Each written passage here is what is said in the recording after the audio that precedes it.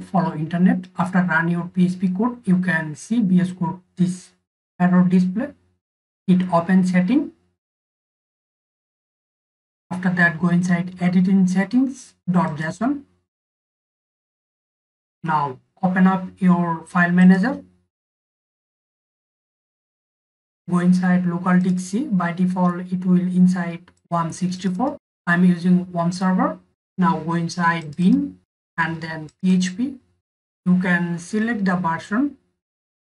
This is the latest version php scroll down.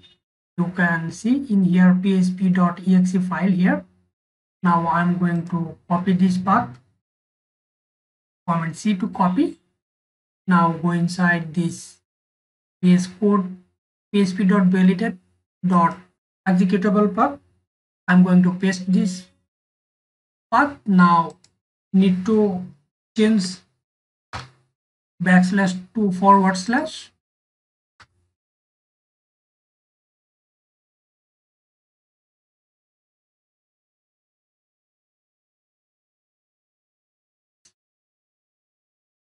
Need forward slash. Php.exe now save our code.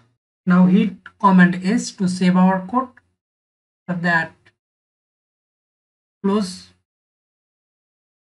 visual studio code. And now you can open again visual studio code. Where you run your php code. You can see this error. Don't come back again.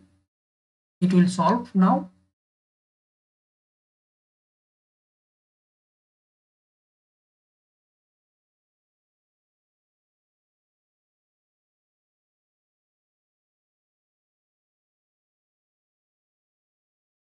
you can see now i am run my php code but this error don't show. That means it will solve our problem. Thank you for watching this video